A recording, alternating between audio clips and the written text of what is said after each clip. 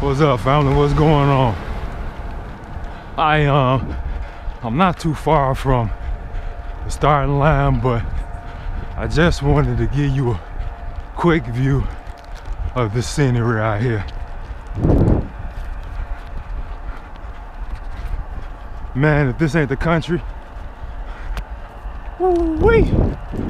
Look at all these fields out here. Man, all I see is mountains out here. I'm glad I ain't running this in the evening. Cause I don't think I'd be able to do it. You feel me? But let me get off this camera, man. So I can focus on my agenda. Which is to get it in. Put my fastest time up to this year. My goal is to do it at 4.30. Might not see my face, but you hear my voice. Again, my goal is to do it in 4.30.